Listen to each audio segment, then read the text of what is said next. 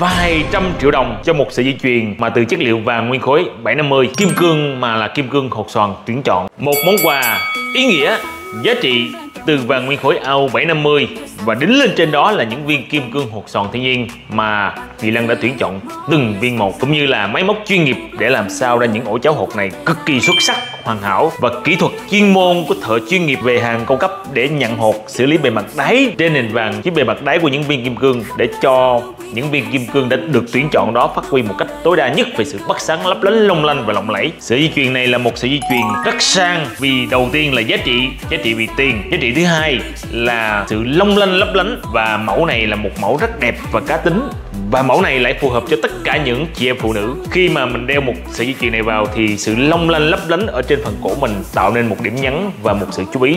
rất là cá tính dành cho người đeo. Mẫu dây chuyền này được kỳ lân chế tác từ vàng nguyên khối ao 750 vàng trắng và không những là bề mặt chính diện mà tất cả những chi tiết xung quanh từ phía sau bên hông tất cả đều được Kỳ Lân hoàn thiện một cách tỉ mỉ tinh tế, hoàn hảo một cách xuất sắc. Vì Kỳ Lân là đơn vị chuyên về sản phẩm cao cấp luxury tuyển chọn. Tất cả những sản phẩm từ những thương hiệu nổi tiếng xa xỉ từ đất nước Thụy Sĩ, chính hãng và tất cả những sản phẩm mà do đích thân Kỳ Lân chế tác, hoặc là tất cả những sản phẩm mà Kỳ Lân đã custom lên, tạo thành dấu ấn riêng, sự cá tính riêng và sự độc bản riêng cho từng quý khách khẳng định sự cá nhân trong cách chơi về những dòng đồ xa xỉ cao cấp.